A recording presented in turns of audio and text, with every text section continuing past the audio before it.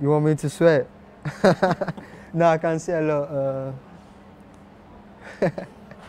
nah, I'll just keep it. I don't want to start swearing because when I start speaking Swedish, then I start swearing. So I just okay. that that's what that's what most of the guys taught me swearing. okay, so we, we speak in English then. Yeah. Kaffe? Nej tack. Te? Ja tack. Över en kopp te i centrala Helsingborg satte vi oss ner för att i lugn och ro gå igenom det som varit och det som kommer. Den lilla korta perioden emellan handlar om Ghana. It was also fun because I met my family, I met, mina vänner. my friends, and I was also doing a lot of work like uh, a lot of like charity works in Ghana, like visiting orphanage, uh, go back to the community where I came from, and doing a lot for for the community. So it was really good. Där har Fartfantomen tränat. Mycket. Styrka och kondition.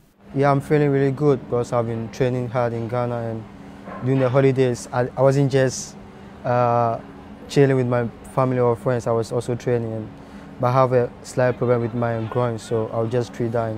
David Ackham är bara 23 år, men får räkna med att vara den stora stjärnan i det HIF som tappat starka namn. Det råder inga tvivel om att han saknar May Malango. Yeah, yeah, he was, he was a good friend, friend of me, and and even on the pitch, the way we play, we understand each other, and and and most people say I play well if it's on the pitch, and that's that's true, and but that's life. I will miss him on the pitch and also in, in, in my everyday life. So I, I have to just get used to not playing playing with him and and get used to playing with other players as well. HIF har ansträngd ekonomi och bland de spelare som skulle kunna dra in Kosing via försäljning finns definitivt David Ackham. Men om HIF skulle vilja sälja lär de få övertyga huvudpersonen själv först. yeah, my, my dream is to move to a bigger league in the future, but I've told the club, I told the club, I, told, I spoke to my agent, I don't think January is the right time for me to move, so uh, if the club decides to sell me in general, I don't think for me, I'm, I'm not going to accept it. Do you know if there are any interest from clubs right now? Uh, I don't want to talk about that one. 2012 hann David Ackham spela 10 matcher och göra 3 mål. 2013 blev det 27 matcher och 10 mål. 2014 I don't think I'll have much pressure on me. Uh, it will be the same like last year, but I know other players who who uh, who also try to come up, so that that will be a good thing. If we lose somebody, I think the other players who wants to come up, so they will try to show, and they will, they will do what this season.